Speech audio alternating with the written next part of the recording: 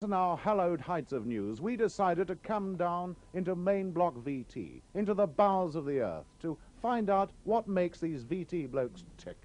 Men who work in areas like this. Fancy working in a place called VT24 all your life. No sunshine, nobody to talk to. No wonder they're so pallid and one, or even two.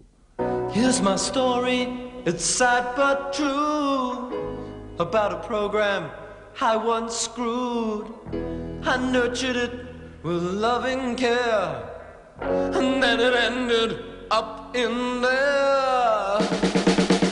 Red scratch, oh, red scratch, oh, red scratch, oh, red.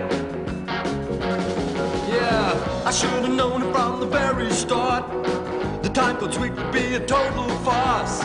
Listen, people, what I'm telling you. I keep away from Ed Suite 2. High speed spooling and the RCA brakes. Destroyed all my prices, single ended retakes. So if you don't wanna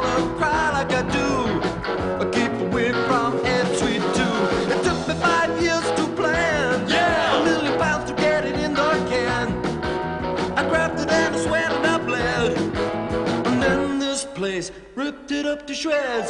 Time goes backwards if we're always on race. Puts holes in the tape, then it starts to erase. Ignore program planning, whatever you do. And keep away from Edit Suite 2. Rip,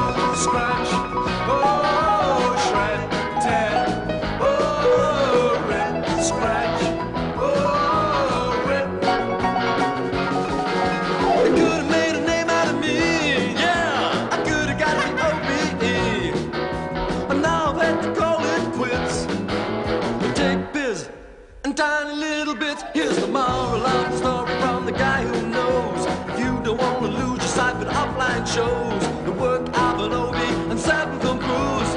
They keep away from Ed Suite 2. Rip, scratch. Oh, rip, scratch. Oh, rip, scratch. Here now on BBC One, Engelbert Humperdinck.